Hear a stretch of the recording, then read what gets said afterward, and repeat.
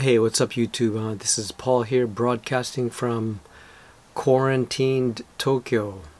Actually, it's not so bad com compared to other countries where they're on lockdown, and um, I'm not really sure if uh, in Japan if things are a bit more laxed because um, they want to try to keep the Olympics going. I'm guessing that there are a lot of people out there who are stuck at home watching Netflix, going through a bunch of YouTube videos, bored out of their skull. So today I thought I'd share with you some of the um, background of the tools that I've I used, some of the cameras that I used uh, for my upcoming exhibition.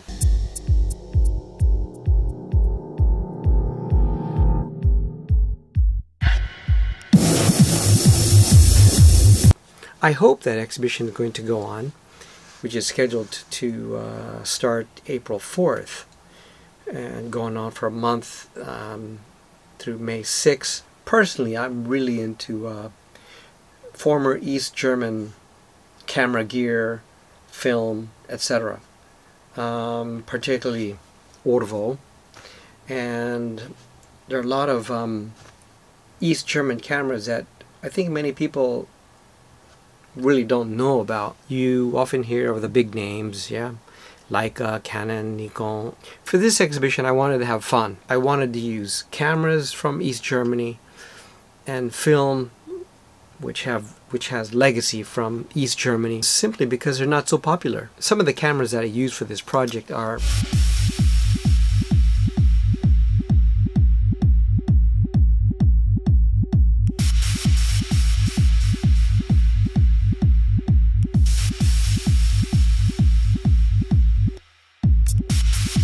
And finally, this Pentacon Prakti, Prakti 2. Now I want to tell you specifically about this, this camera because it has a kind of interesting story behind it. I got this camera on eBay. This was back in mid-December or so last year. Before I bought it, I checked it out of course and it said working condition. I contacted the seller and I asked is this camera working? I even sent a YouTube, an unlisted YouTube video link of how to check the camera, what does this camera look like when it's functioning. Because some sellers say, you know, it's not tested. So I put together a simple video of how to test it. Anyway, I sent the video to this seller and the seller replied, yes, it's working fine. So I went ahead and bought it. It arrived maybe 10, 12 days later. Well packed, it was great. And I did an unboxing video of that, not for YouTube, but more of evidence to show to the seller just in case something happened. Even though the seller said that it's working fine, I just want to take precaution. I, I, I received the package, I open it up, really excited. I put the batteries inside and nothing, nothing, it was, it wasn't working. I tried another set of batteries. It wasn't working. I tried to clean the contacts of the, uh, the battery contacts. That didn't work. It was a completely dead camera. I tried everything. I fiddled around with it. Nothing, yeah. I contacted the seller. Camera's not working. What's going on? I put a link an unlisted to an unlisted video showing that it's not working. No reply. A week later, sent off another message. Hey, what's going on? And this was again in December. So I thought maybe the seller is busy with the holidays, so I'll wait until after Christmas. Um, so again, maybe the 27th, I fired off another message. Hey, I sent you two messages already. What's going on? No reply. Fourth message, I got a little bit more kind of aggressive and I said, hey, you know, if you're not going to reply to this message, um, I'm going to have to escalate this matter to with, with eBay. Still no reply. New Year's passes on. Maybe it's about January 7th by this time. I had also kind of like forgotten about it because I was busy as well and you know, it wasn't such a huge loss. It was just, I think, maybe $25. So maybe the first week of January, I filed the complaint with eBay. Finally, the seller responds and says, you know, I don't know what you did with the camera, but it was working fine. um, when I sent it off. And I countered, I said, Well, look at the video. It's not working. I said, Look, meet me halfway. Just refund me the shipping costs. And I'll take a hit. I'll, I'll, I'll accept this dead camera. Just refund me a portion of, you know, out of, uh, out of good faith, you know. No response. Where's the honesty and integrity of people these days? Then finally, eBay refunded me everything.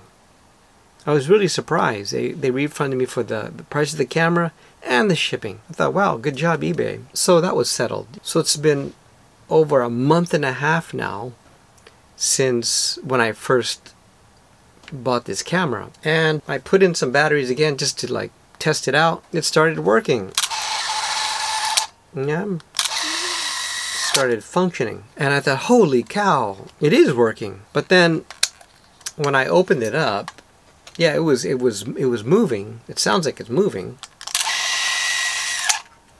But you can't really see here was moving, but the shutter remained closed despite the movement. Yeah, in fact, it was a kind of lemon camera, or it is a kind of like defective camera. The seller probably thought, oh yeah, it's working.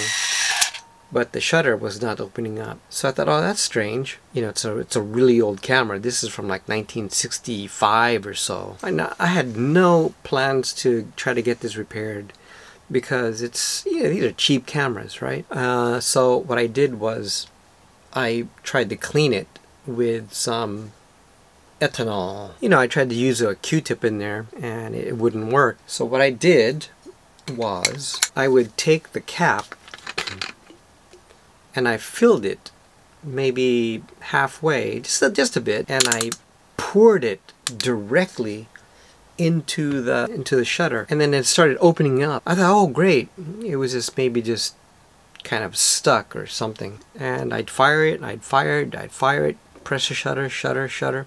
It would open up. But then I think as the ethanol dried up it would close up again. It would get stuck. You would see it. I would put I would put the camera on bulb or B and um, you could see that it's kind of like stuck. For about a week I was just dumping ethanol in there. It would leak some oil or residue would even leak out of the camera like black. I could feel it on my fingers yeah. I could see it too. I'd dump it in there. Um, I'd leave it overnight try it out in the morning etc and, and just repeat. And then finally it just it just remained constantly open. It, it functioned well.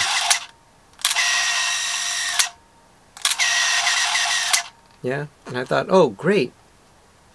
It, it works fine now. However, this this camera, it's auto exposure. There are no aperture or shutter controls. The selenium meter, the light meter, was working fine. And so what I did was I put in a roll and I tested it out and I printed the contact sheet and here it is. Some images came out. I thought, wow, amazing. You've got some shots which are underexposed, some are overexposed, some look okay. However, in the darkroom, I was able to uh, make some prints. And um, I could, of course, adjust the, uh, the, the contrast.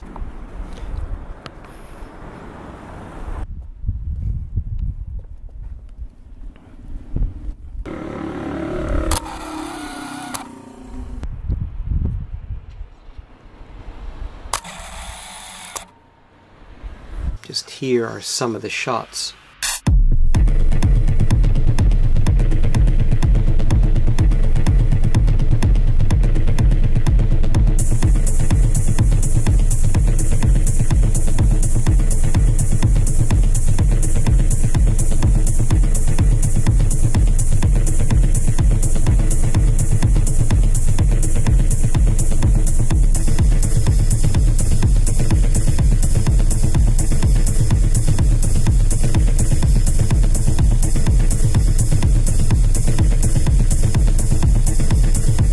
So for this whole series, I used ORWO N75 as well as all these East former East German cameras. So that was the kind of thrust or the motivation behind that is for this exhibition I want to use tools or film that are really not known.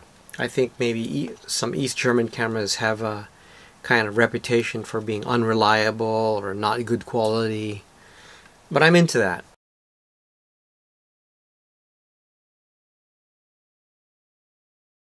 So, yeah, I just thought I'd give you a kind of background to the tools that I used um, for this exhibition.